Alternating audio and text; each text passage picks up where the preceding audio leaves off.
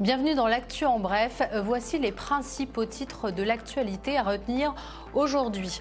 Le chef de l'État français, Emmanuel Macron, est en déplacement dans la capitale libanaise, à Beyrouth, depuis lundi soir, et ce pour la deuxième fois en moins d'un mois. Il doit rencontrer son homologue, Michel Aoun, dans le cadre d'une cérémonie officielle.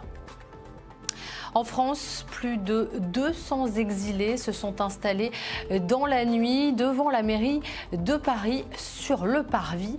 Ils ont installé leur tente au beau milieu de la nuit. L'association Utopia 56 est à l'origine de cette opération. Elle demande à ce qu'Anne Hidalgo agisse pour loger dignement ces migrants. La centaine de familles qui s'étaient installées dans la nuit de lundi à mardi sur le parvis de la mairie de Paris ont été accueillies dans une salle de l'hôtel de ville.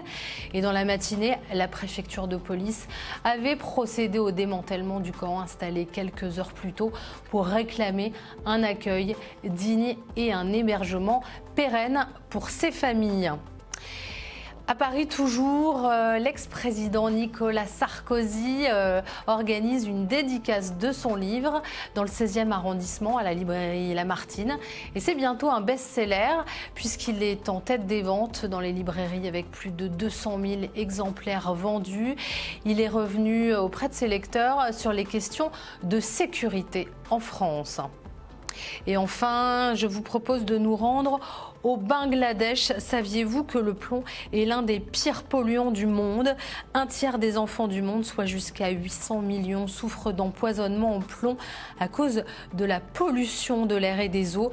Ce chiffre a été rappelé par les Nations Unies qui ont alerté le mois dernier sur cette crise sanitaire massive et jusqu'alors inconnue du grand public.